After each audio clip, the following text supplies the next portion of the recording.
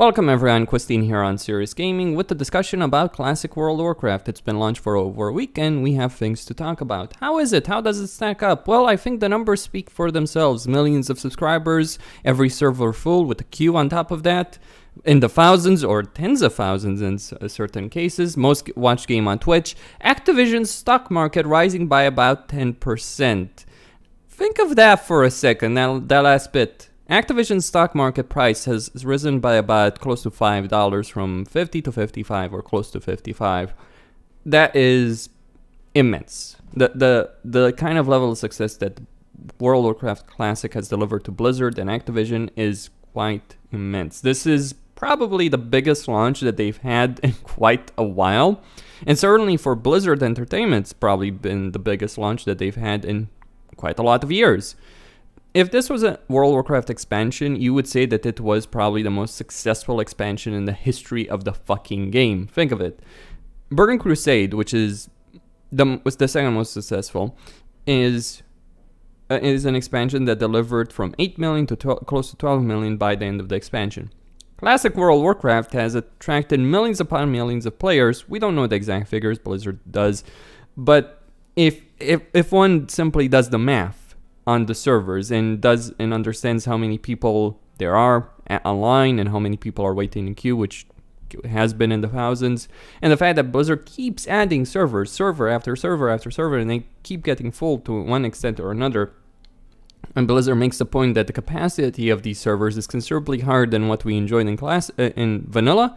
Then you have to understand that there are a lot of people, which someone should have told Blizzard before Classic had launched because then they might not have screwed up the launch in a major way. Don't get me wrong, the game runs pretty damn well. Throughout all of these days that I've played the game, I've only had one server DC, no crashes, and only three or four periods of lag that lasted for about 10 20 seconds. By any measure eh, of any standard of a MMO launch or an expansion launch, that is highly successful. The game runs well, the game runs smoothly, the scripting is good the for most part. There are some minor things and one major one, but for most part, when it comes to abilities, pathfinding, questing, etc., everything runs pretty damn well.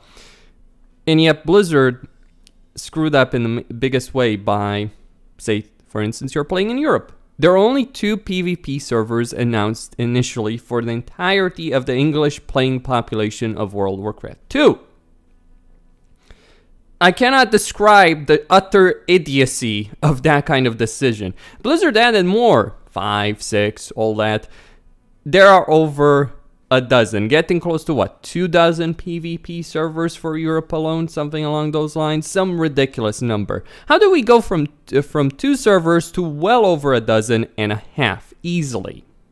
And how is it that every single one of those servers has a queue in the thousands or tens of thousands. I've seen the most ridiculous queue in my entire history of playing World of Warcraft since retail vanilla to Burn Crusade, of Lich King, Cataclysm, etc. in Classic, which is a queue of over 20,000 people. Well, how do we get to that?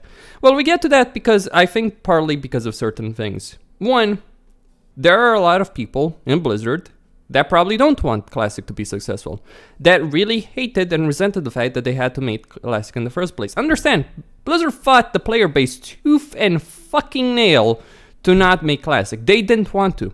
They didn't want to do it. They resented it because uh, you think you do, but you don't. That that those words will be forever etched in legend as some as the biggest example of hubris by a game developer in history after this launch, uh, considering what has happened. You, you think you do, but you don't. know Blizzard, I think we actually do. Like, we do. We are millions, and we do. We know what we want. You're the guys who think you know what we want, but you've been proven fucking wrong. So, Blizzard didn't want to do it.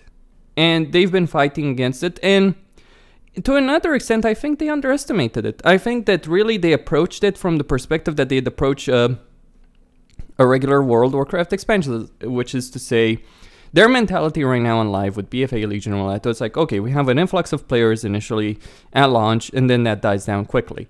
This is not how Classic works. This is not how Vanilla works. The reason is that because of the way the leveling is, which is stressful, boring, grinding, whatever, people get connected to their characters they get connected to other people they have to play with other people they have to socialize with other people they have to group up with other people in order to get this done. There is no middle ground on this. You either group up with other people or you're in for hell. So of course naturally the vast majority of people that are leveling will group up with other players. They will form connections. They will join guilds. They'll play together. They'll get attached to their characters. They'll get, they'll get attached to other people. That is the success of classic. That's what classic delivers that no other expansion even burning crusade uh, delivers. Certainly not the shit show that is wrath of lich king and everything after wrath. Because with every expansion since wrath of lich king and everyone after with, with Wrath and everything after it, you've had a move from the social aspect, the community aspect, the fact that you're you're encouraged, heavily encouraged by the game to group up with people. And it was already ch- mean changed to Burning Crusade, don't get me wrong, but it really took a nosedive in of the Lich King. This is the way that Blizzard approaches it. They approach it from the perspective that, oh, people will quit playing. Well, people quit playing if they don't have a reason to stick around. They have a reason to stick around. They've spent days played in game to get to 60. They've spent uh, time getting to know other people. They form connections with other people. They've joined the guild. They've leveled up on that. There is a reason for them. People will not just quit easily over the next few days. They will not quit easily over the next few weeks or months. They will stick around. That is what's going to happen with regards to classic World of Warcraft, and I don't think Blizzard understand that, understands that, appreciate that, appreciates that, or even to some extent even wants that to happen, because classic being successful, number one ga- viewed game on Twitch, Activision stock market going up, millions upon millions of active subscribers, all of that coming together. You know what that is? That is basically the player base for Blizzard game basically saying your game is shit on retail. And that's what it is. People have been clamoring, have been desiring an MMO for years that would do something like this. It's not that people are so necessarily fanatic about, oh, we have to have this old 15 year old version. No, we want a different game than the piles of monetized crap that Blizzard has been putting in for years. Because seriously, fuck everything that they've been doing for the last decade at the very least. Really.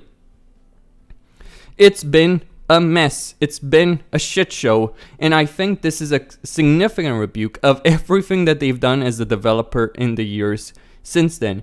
And they're probably not taking it very well. They're from what I've heard, you know, rumors, suggestions, leaks, all that, there are people within Blizzard working on BFA that are not particularly happy about this.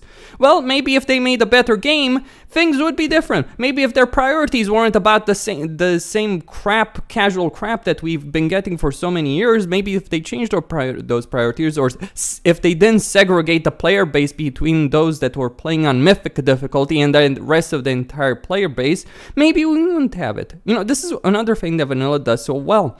The progression is natural. Not every raid here has multiple difficulties or raid sizes or whatnot. No, there are only there's only the raid. The, there's only the base difficulty, and you either deal with that or you don't. Some people deal with it and they move on to the next tier.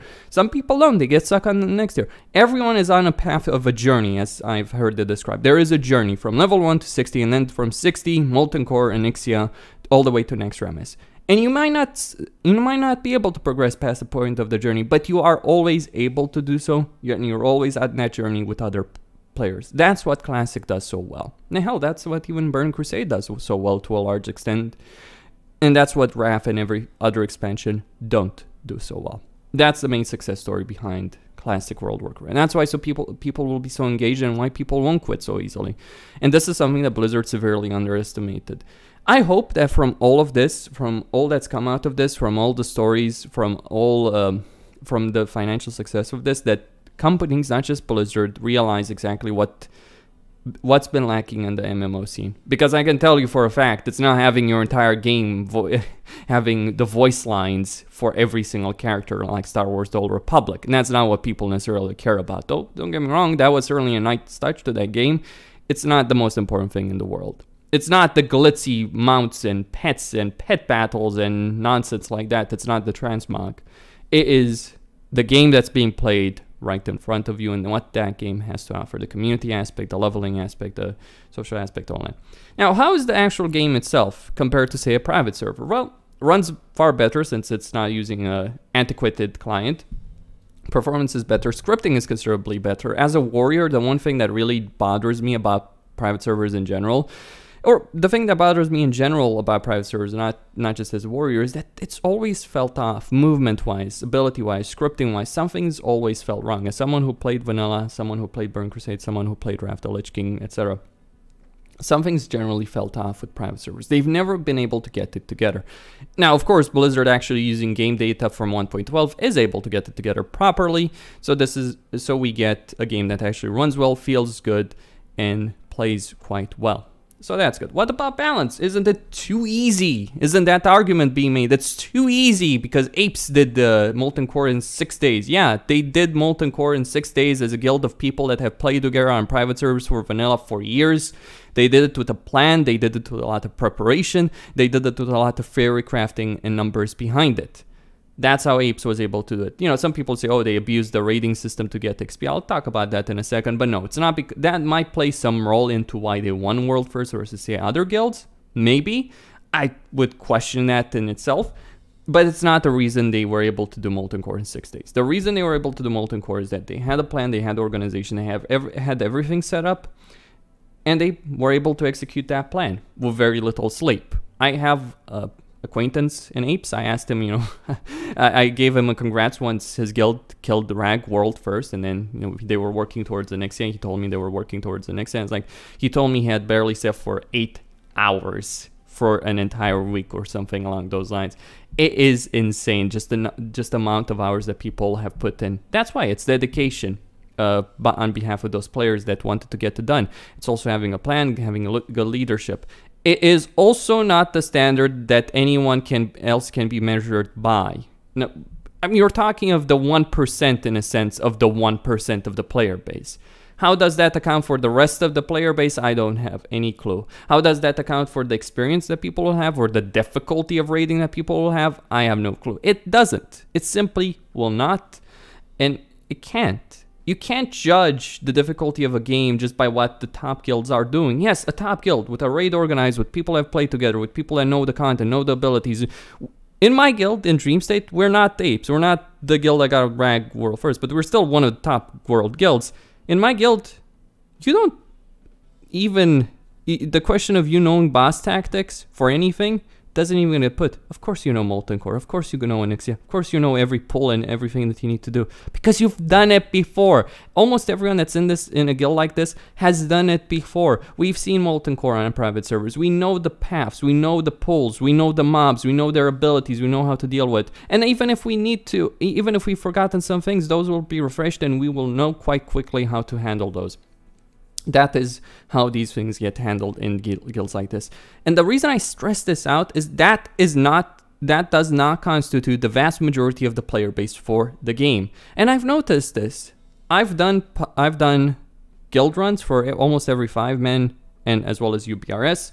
I've raided in Zul'Farrak, I've raided in Scarlet Monastery when that was viable. It, was, it's not as superb as people might believe, by the way, in terms of experience per hour. Yes, you gain, you go faster, you kill more mobs, but at the same time, you were already losing experience per hour versus like a five dedicated five man group. And it's not necessarily that much beneficial versus a five man group. At least it wasn't. So that's a bit of a discussion there. I'll talk about more about that later. But suffice to say, I've done, done a lot of guild runs, very smooth, very uh, solid. But then I've done pugs, and here's what I've noticed in terms of the difficulty. The mobs do seem to die faster, but they're also far more dangerous in terms of the abilities they use, the damage they do. It feels to me as a tank that, even though I haven't played Prospect, you know, I've either been Arms or Fury, but I've done that before, right? I've done that on Light's Hope, for instance, on Private Server for Vanilla. It feels to me that mobs are a lot more dangerous for you, for your party, uh, in terms of abilities they use, some of them, or quite a lot of them, in terms of the damage they do. But a good group that got good coordination, good healers, good mage, good warriors, etc., will be able to handle it quite relatively easily. But a pug group will struggle probably more than they struggled with these instances. Strat Undead in a pug, which I did, was not the greatest experience. Or, for instance, an LBRS run, a Lower Blackrock Spire run, and a pug versus a guild group. A guild group, I did this F54. We cleared the entire instance F54 with the, with the f 54, 55, 56 is in the party, right? A pug is slower, just to give you this idea. A pug that I was in is slower despite the fact that almost all of us in this in the in the LBRS group were 58, 59, 60. There's the difference. Therein lies the difference. You can have a guild group that's organized and where people know what they're doing, they've played together, they know what they're doing, and you can do it faster even though you're two, three, four levels lower than a pug group, with obviously the gear differences to go along with it between them.